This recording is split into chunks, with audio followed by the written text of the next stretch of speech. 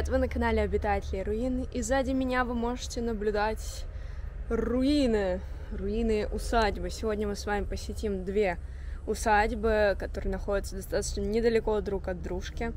И конкретно это называется усадьба Зендикова. Подошли к одному из флигелей. Тут есть ощущение, что кто-то копал вход в подвал, котором уже груды мусора. Ой, как бы это... Ты это пробежал? Не свалился никуда? Эть.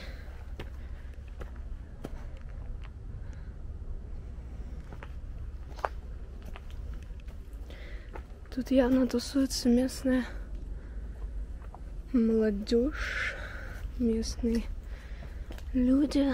Тут уже такие урбанистические джунгли.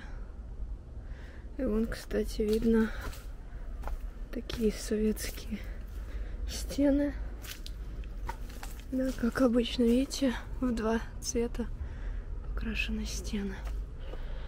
И тут уже все. Кирдык. Тут лежит какая-то свечка. Возможно, тут занимаются каким-то еще оккультизмом. Но точно я ничего про это сказать не могу. Информации про это не было. Вот такой вот вид остался у усадьбы. Еще где-то проглядывает фасад. Ну, дизайн, скажем так, фасада. И это был какой-то вход сбоку. Я не знаю, получится ли подойти прям к главному входу. Ну, как видите, тут даже вот есть такие перевалы в уровне земли. Ой, какая-то балка наверху. И тут был выход в сад, который тоже на сегодняшний день уже, как видите, зарос. А сад был шикарный просто. Там вот идем дальше.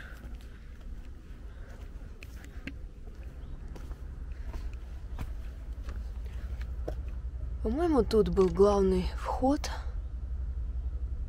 К нему доступ уже так немножечко тоже зарос. Видимо, лучше всего сюда приезжать осенью, ранней весной, чтобы не было так много зарослей всяких. Кстати, хожу я по кирпичам какой-то зелени. И вот такие вот перепады тут.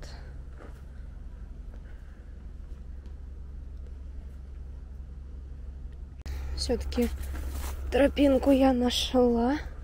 И вот... А! Крапива тут везде. Не надо было опять одевать шорты. На самом деле сейчас в Москве жутко переменчивая погода. То плюс 30 градусов, то плюс 20. Ну вот, такой вот вид.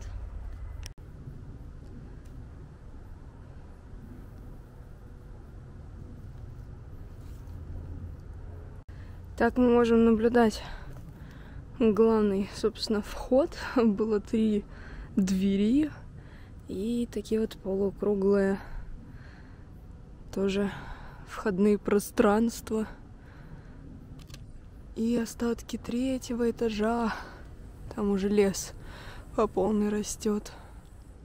На самом деле, конкретно эта усадьба примечательна тем, что она была построена на рубеже а, двух стилей романтизма и классицизма в конце XVIII века. Поэтому в ней как раз и есть слияние этих двух архитектурных стилей, что является, кстати, большой редкостью в нашей области.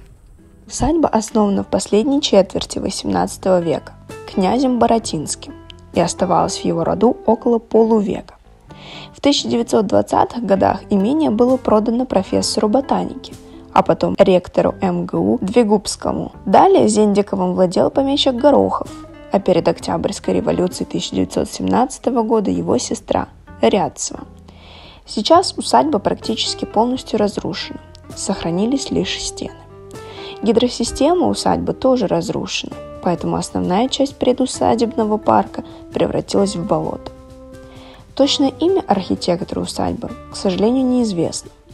Автором проекта главного дома мог быть только мастер весьма узкого круга, хорошо изучивший все тонкости высокого искусства палладианства, к образцам которого относится уникальный памятник архитектуры. Палладинизм или Палладиева архитектура – это ранняя форма классицизма, выросшая из идей итальянского архитектора Андреа Палладио. В основе стиля лежат строгие исследования симметрии, учет перспективы и заимствование принципов классической храмовой архитектуры Древней Греции и Рима. Тут вот остались петельки, видимо, от дверей. И просто посмотрите на вот эту колонну. Я не знаю, сама ли она так разрушается, или ее кто-то приходит и ломает, но если она обрушится, мне кажется, пойдет вся вот эта стена. Возможно, и вся часть этой усадьбы. В округе уже все заросло лесом.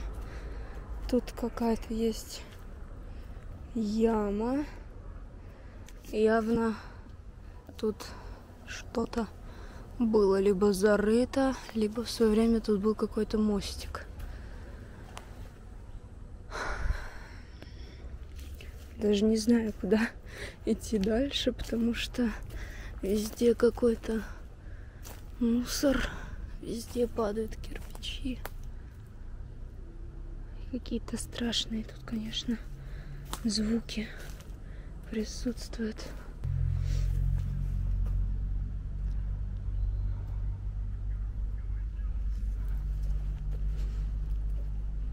На этом здании усадьба заканчивается. Там уже начинается сельская дорога и какие-то коттеджные домики.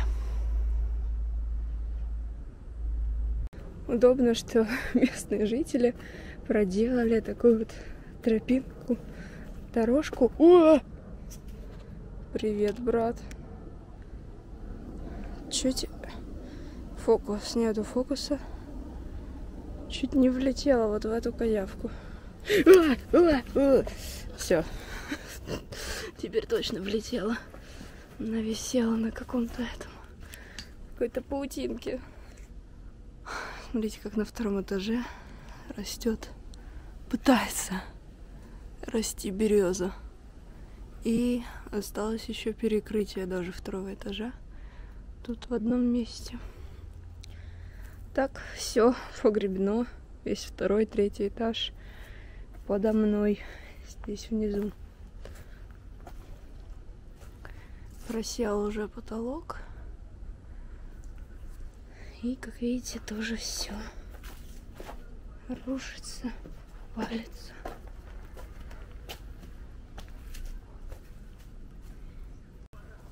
Можно еще увидеть балкон на третьем этаже.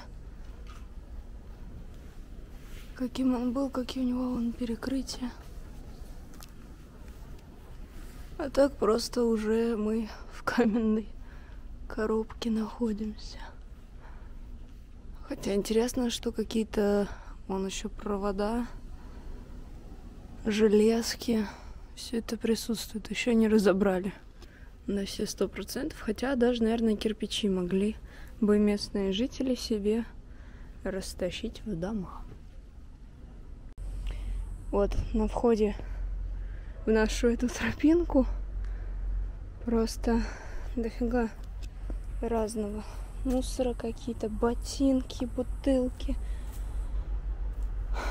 Видимо, бывшие костры. И это, в принципе, классика. Мы это наблюдаем почти на каждой заброшке. Но, блин, в таком открытом месте вот как бы уже дорога. Все, тут катаются местные жители к себе туда домой. И прям вот тут уже помойка откровенная. Не знаю, это прям жуткий какой-то жуткий вид. Disrespect. Ну, сейчас отправимся во вторую усадьбу. С ней история немножечко вроде как получше выдалась, и судьба у нее не настолько плачевная, но там тоже есть свои нюансы.